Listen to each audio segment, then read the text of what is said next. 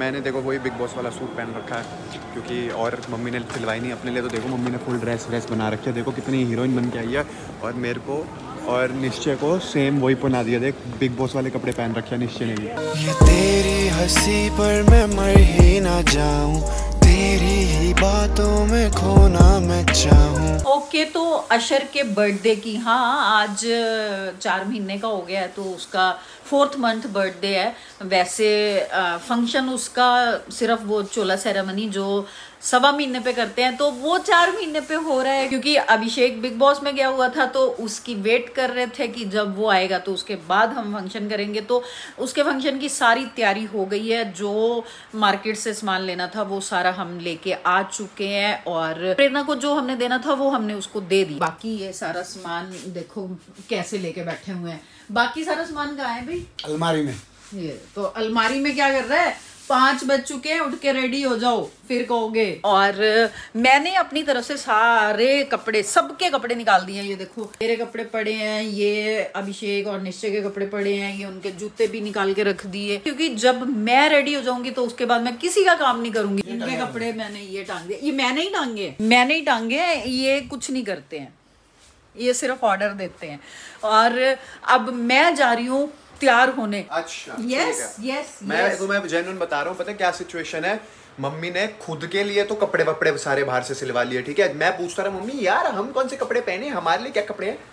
कौन से कपड़े वाले? बिग बॉस जाने के लिए ना 60 डेज़ के 60 जोड़े बनवाए थे तीस इसने। जोड़े बनाए थे तीस हाँ। जोड़े। आप रेडी हो? फिर हम रेडी होते हैं। अच्छा। और आज बड़े टाइम बाद रेडी होंगे तो मज़ा आएगा रे वीडू। मज़ा आएगा, मज़ा आएगा। मैं जा रही हूँ अपना हेयर स्टाइल बनवाने क्योंकि फ़ंक्शन पे जाना है यार तो हेयर स्टाइल तो करवाना ही पड़ेगा। और मैं आ गई हूँ अपनी फेवरेट प्लेस पे।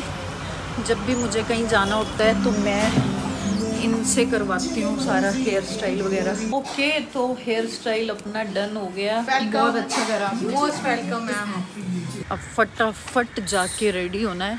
नहीं तो मलन साहब का तो पारा हाई हो जाना है क्योंकि मेरे को तैयार होने में भी बहुत टाइम लगने वाला है। ओके तो आई एम रेडी ये तो अपने बालों को ही जलाई जा रहा है। Sir are you ready sir देर से रेडी हो गया तो नींद आने लग गई। तो चलो ना फिर चले। Are you ready sir no ma'am bye but I am ready you are always ready पापा नीचे उतर गए हैं। लहंगे के साथ सीढ़ियाँ उतरना बहुत मुश्किल है। ये देखो जैसे वो प्रिंसेस का पीछे से गाउन पकड़ते हैं ना ये मेरा पीछे से लहंगा पकड़ के चल रहा है।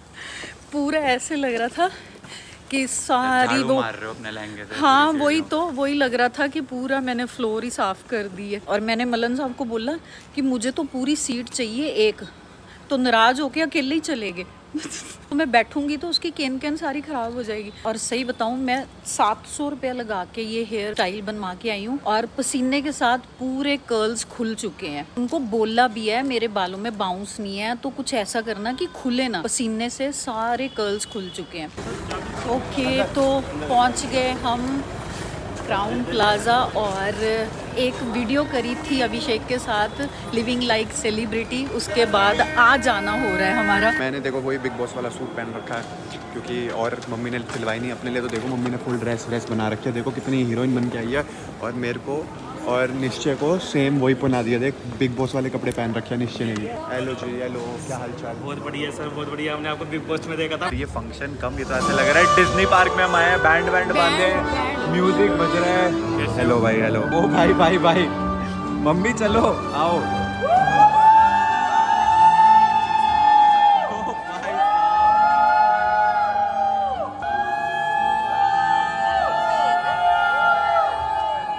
तो गाइस ये देखो यहाँ पर हमारी नानी जी। नानी कैसे हो? मस्त एकदम। बड़े टाइम बाद नानी बड़े टाइम बाद मिली है। नानी एकदम पतली फिट हो चुकी नानी है। एकदम पतले हो गए अब नानी आप कौन सी मूवी में रोल करने वाले हो रोल तो करोगे? हाँ। ये देखो ये जब से आया खाई जा रहा है। ये लड़का।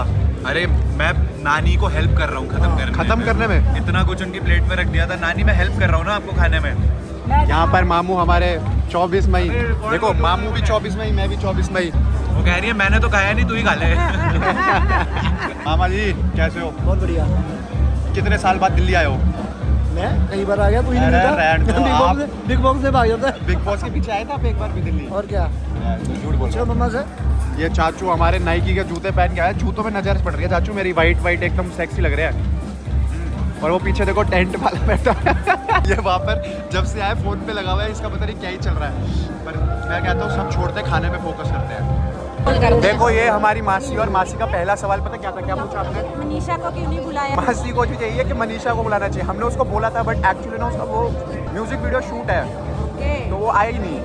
ऑल द बेस्ट इनविटेशन था मनीषा बट मासी कह रही ऑल द बेस्ट तेरी म्यूज़िक वीडियो के लिए। और जब आएगी मासी से ज़रूर मिलना पटियाले पहुँच जाएँगे। ओ फाइनली कालियापुरा। मैं कह रहा था कि बाकी लोगों का पता नहीं है पार्टियों में सबसे मिलते रहते हैं इससे मिलो उससे मिलो।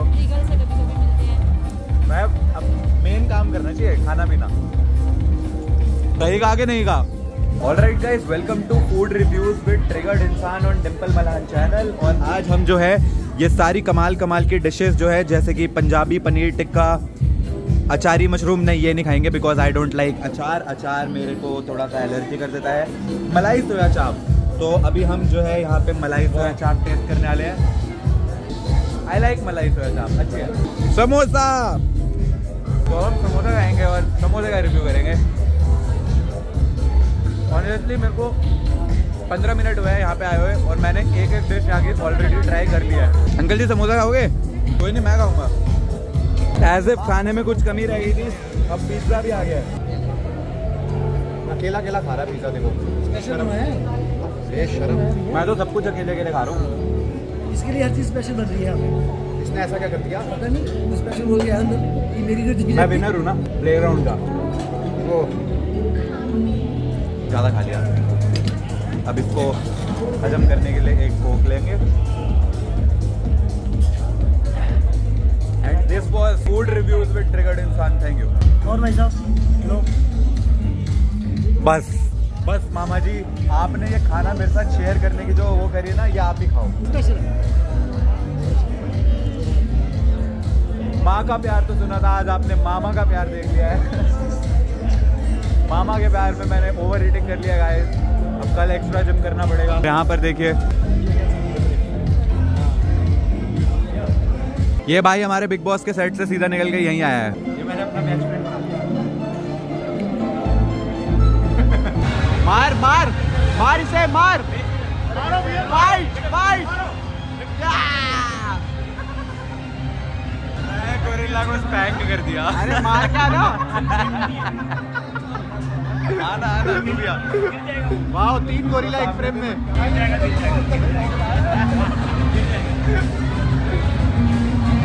अरे क्या कर रहे हैं फुकरा भाई जो है गोरिल्ला के साथ डांस करके दिखाएँगे। चलो गोरिल्ला भाई। पम पम pararam parararararam para अरे ऐसे ऐसे करो ना। पगला गया भाई। प्लेयर मार दूँ? You are very good bro yo देखो हम वॉशरूम में आए हैं क्योंकि मैं देखने आया हूँ कि मेरे बाल बढ़िया लग रहे नहीं लग रहे ये मेरे को कह रहा है कि बाल करानी है तो पूरे कर्ल कराओ। एपी टिल्लो बन जाओ मैं कहा भाई एपी टिल्लो नहीं बनता अरे सारे तू एक बात बता। छाती के बाल तो काट क्या था मर्द के छाती के बाल होते हैं। अरे वाह वाह क्या बात कर दी यार। ये देखो छी यार गंदा आदमी। बड़े बुड्ढे है तो थोड़ा सूट वूट पहनने का थीम था ये। शर्ट सूट भी पहना है? यार फॉर्मल से है भाई। माय गॉड सेक्सी बॉय जासूस। तो गाइस तुम एक बार कमेंट सेक्शन में बताओ मेरे बाल सही लग रहे नहीं लग रहे नहीं लग रहे मैं पूरे कल करा लूँ या फिर स्ट्रेट कर दूँ? क्या करना चाहिए बताओ। कमेंट्स में और यार ये और बताना दोनों में से अच्छा कौन लग रहा है? हाँ ज़रूर बताना कौन ज़्यादा अच्छा लग रहा है? ठीक है ਇਸ਼ਕ ਚ ਅਜਨਾ ਸਾ ਚੱਲਣ ਤੇਰੇ ਪਿਆਰ ਦੀਆਂ ਮੁਲਾਕਾਤਾਂ ਨੂੰ ਬਸ ਦਿਲ ਤਰਸਣ ਤੇ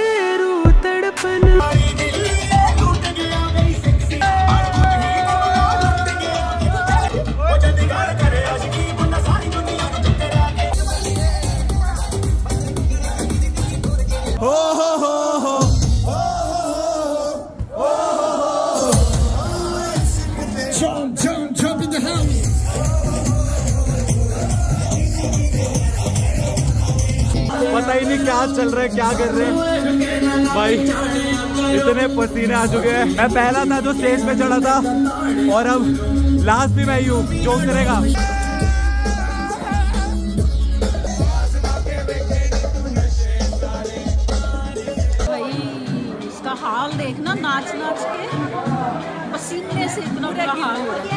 ਪਟਿਆਲੇ ਵਾਲੀ ਮਾਸੀ ਪੈਂਪਰ ਕਰਦੀ ਵੀ ਹੈ ਆਫਟਰ ਪਟਿਆਲਾ ਬੈਂਕ